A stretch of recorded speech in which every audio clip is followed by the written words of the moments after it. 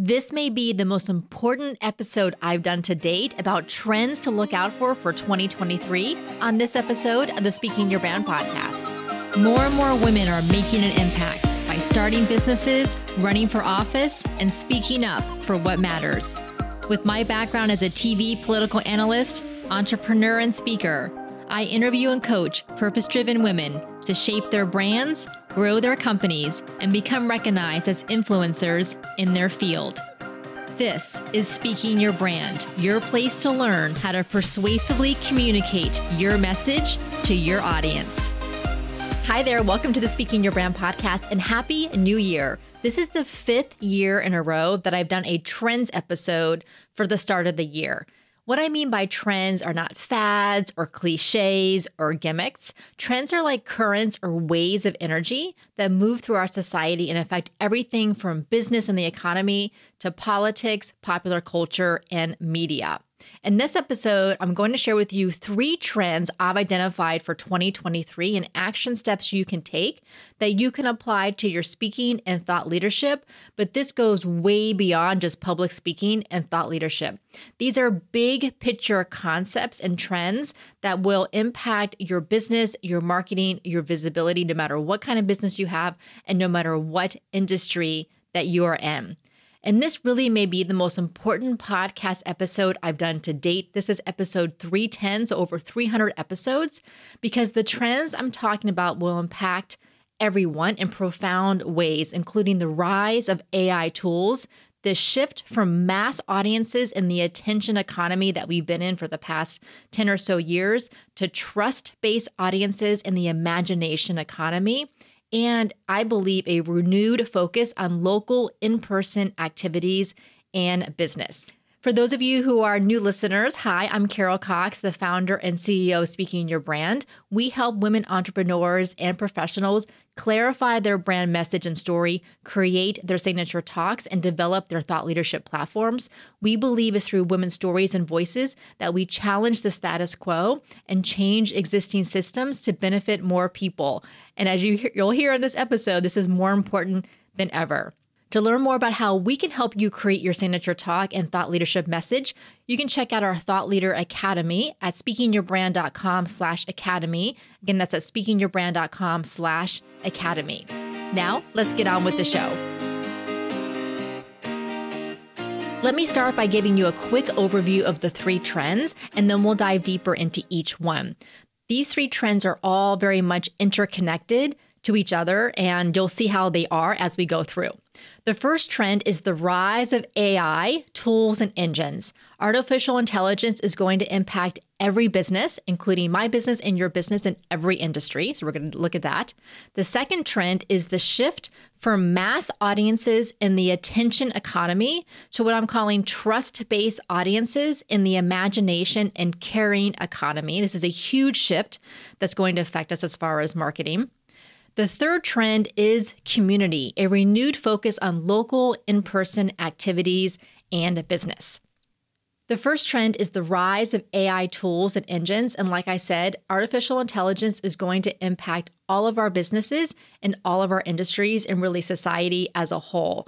And what we're seeing today is just the beginning of what we're going to see in the next one year, much less three, five to 10 years. The, the AI that is most interesting to me right now and what people are kind of are talking about online is called generative AI. So there are platforms like ChatGPT, Stable Diffusion, DALL-E. And so what it does is the AI engine creates images, text, audio, video, and so on.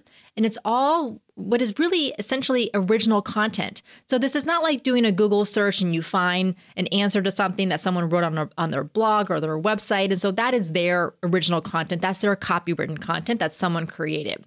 What these generative AI tools are creating is original content. It hasn't existed in that exact form somewhere else. Now, there are some kind of ethical and legal implications of, you know, all these engines have been scraping data from the internet. And that's where they got all their their the data that they've been trained on.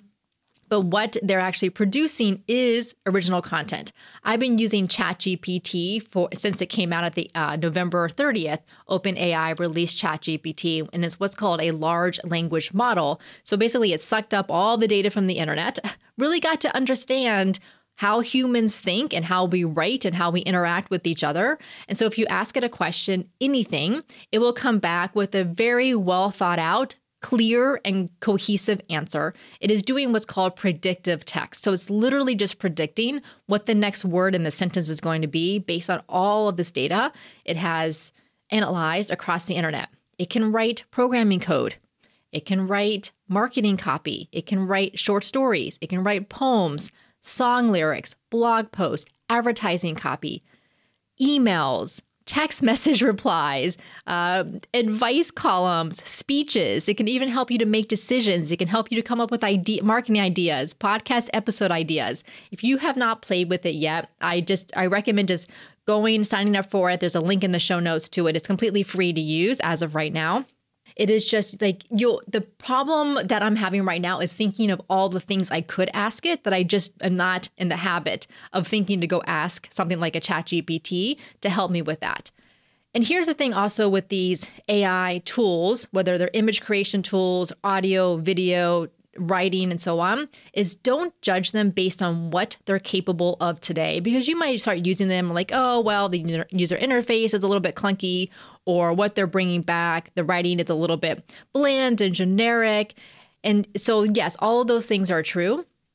But we're in exponential growth at this point as far as what AI is going to be able to do six months from now, a year from now, much less three to five years from now. And if we think about it, three years from now is not all that far away. It has been nearly three years since the start of the COVID 19 pandemic here in you know March of 2020 and we're almost in March of 2023 that's how quickly 3 years goes by so I go between being excited and terrified as far as what is coming down the pipe with AI. I have a background in technology. 20 years ago, I you know did software development for large Fortune 500 companies as well as for startups.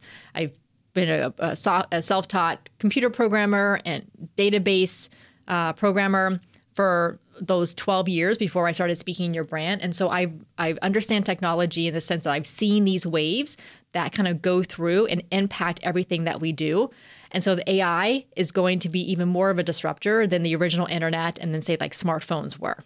Here's the thing AI tools can generate endless quantities of what I would call decent content at virtually no cost. Decent content that really is pretty much the same as much of the content you see nowadays on people's websites, blogs, and social media.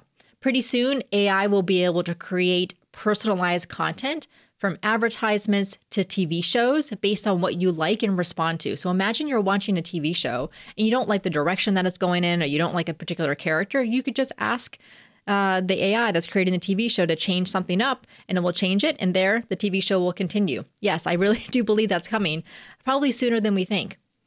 Because AI can generate this endless quantity of pretty decent, and it's going to get better and better content and personalized content at virtually no cost, we have to really think about what we as humans are good at.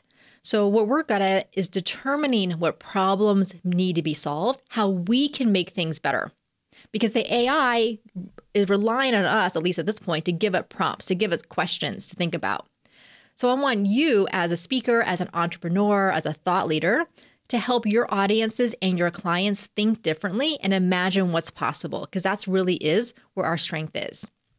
And speaking of asking questions, there are people out there who are asking the questions that need to be asked around these AI tools of how can we use them ethically and safely. Here's an example. You may have heard of Lensa. It's this AI powered image editing app that a bunch of people were using on Instagram back in December.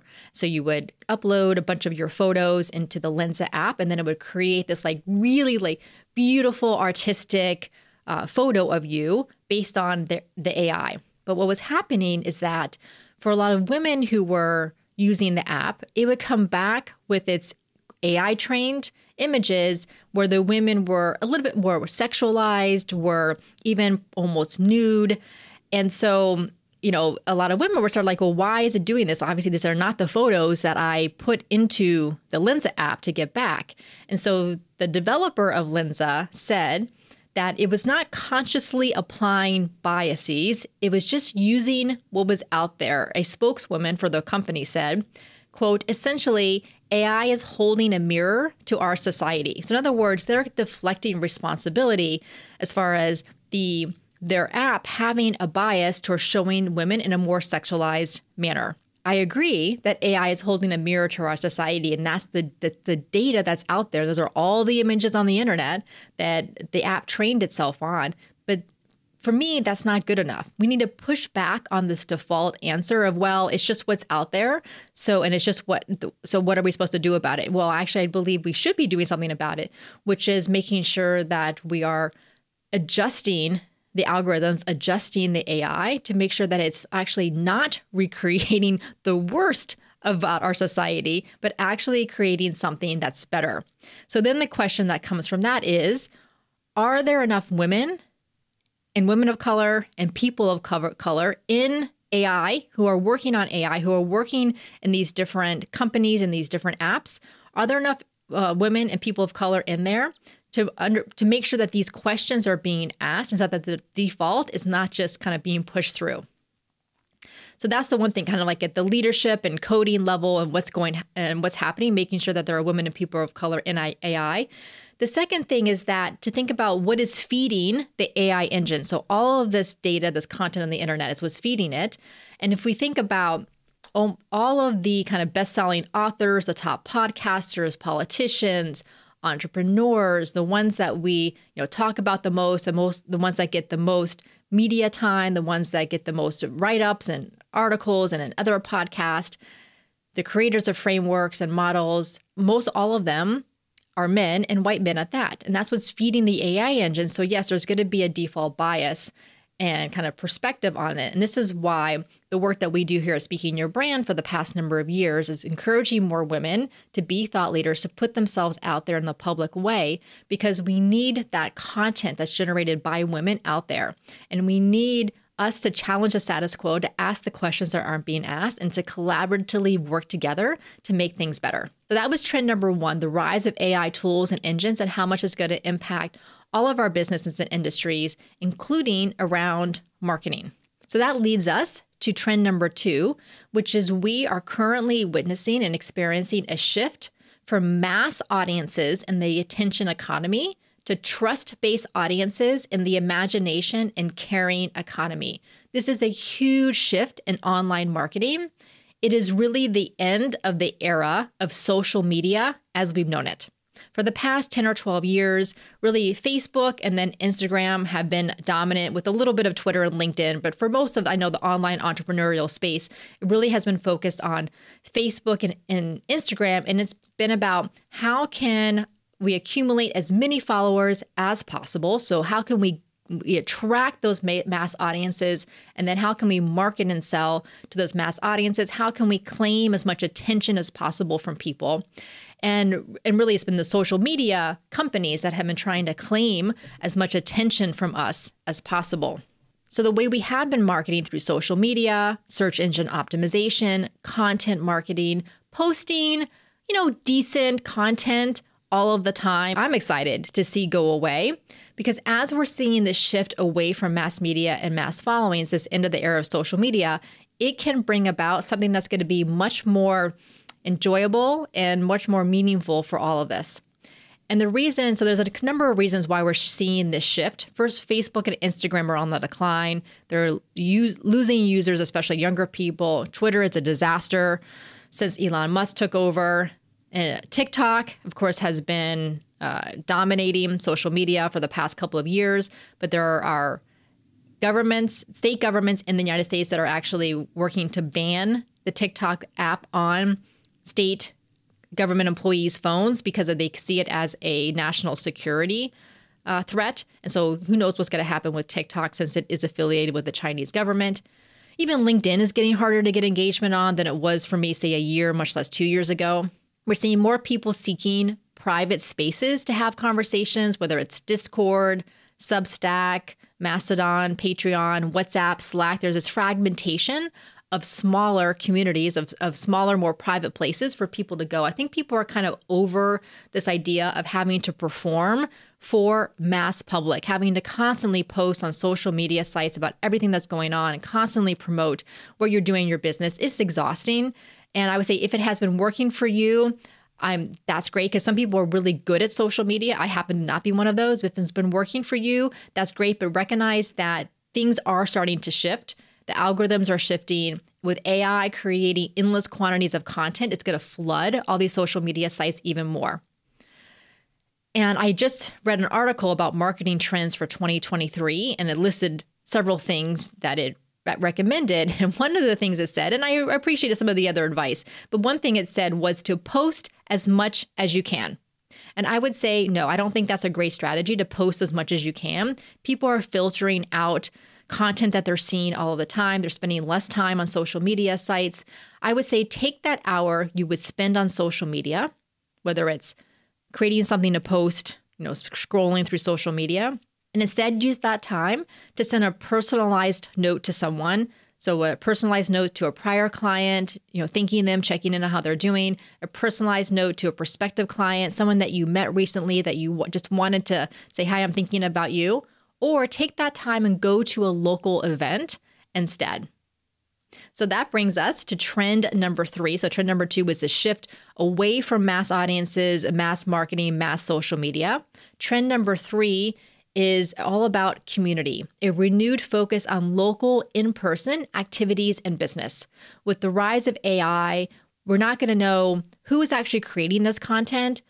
With deep fakes, where you can actually manipulate audio and video to make it look like someone is saying something when it really wasn't them, deep fakes are getting much, much better. It's going to be very hard for us to tell what is real and what is not online. So, guess what? What's going to happen instead? People are going to seek out in person interactions, in person activities, in person events. And a lot of that's going to happen local just because it's easier for people to do that locally.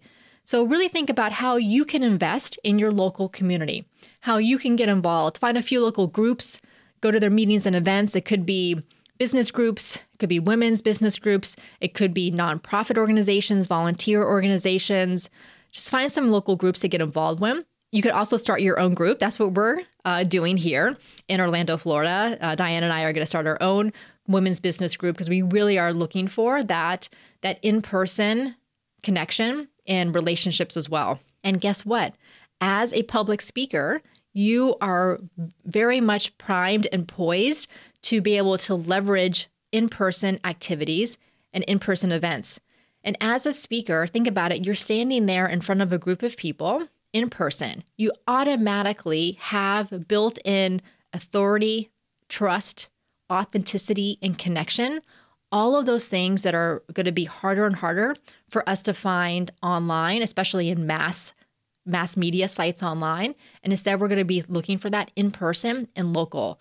So, really get involved in your local community, find those local groups and events to go to, and also other in person conferences and events to travel to and really think about how you can reach out to some of these local groups and events and offer to speak to their membership, offer to speak to their audience as a way that's also a great way to get involved and to kind of get on your local speaking circuit. So that was trend number three, which was community, a renewed focus on local in person activities and business. There's a fourth bonus trend that I wanted to mention that didn't quite fit in with the rest of these three trends, but I'm going to talk more about this in a future episode is around entertainment, fun, and escapism. I was reading an article recently. They were talking about these kind of these movies that are made to, you know, garner Oscar nominations. And so they tend to be kind of period pieces or just kind of a little bit more like dramas and, you know, excellent acting and excellent, you know, scripts and the movies are well made and all of that. But they're finding that people are not going to see those movies and what, what as they've been interviewing moviegoers, they found that it's because people don't want to watch depressing movies. They're looking for fun, escapism, entertainment. Of course, they want something probably more than just the Avengers movies, but they want something that's not like going to watch two hours where something's going to be really depressing because let's face it, things kind of have been not so great in the past few years in real life. Now, I'm what I consider a serious thinker with a capital S and a capital T. Like, I love, as you can tell from this episode, to really think about things like to tie, you know, make connections between things, tie things together. This is why I was a history uh, major in undergrad and grad school. I love kind of like digging into what, how things work and why they work the way they do. I know I have to be intentional about adding humor and lightening things up in my own talks. Otherwise, they will be really serious. And so that's one of the things that we do when we work with you and our clients and when I do my own talks using our signature talk canvas is we lay out all of the content from beginning to end and then we go back and add layers. And one of the layers that we go back is to make sure we're adding humor, whether it's a funny video clip or just kind of making, you know, breaking the tension after a more serious story or serious point or an example or an anecdote, just to add a little bit of humor. So like I said, I'll talk more about this in a future episode. Based on these trends, here are some action steps, some questions that you can consider. Number one, how can you start using these AI tools to enhance your own work? Really, they they can be extremely helpful. I've been using it to think of podcast episodes, to to write first drafts of, of emails and things like that. So definitely see how you how you can work with them. The second thing is how can you start shifting your marketing strategy away from the time spent seeking mass audiences to instead nurturing relationships and community. And this isn't easy because we have been trained over the years in this online entrepreneurship, online marketing world to constantly post, to get more followers, to get more likes, to get more people on our email list, more, more, more.